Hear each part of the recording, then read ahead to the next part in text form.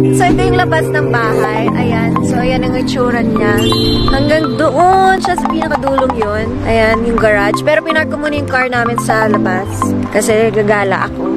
Alam mo na. Mag Handa na ba kayo? Come in! So ayan. Ayan ang front door natin. So ayun.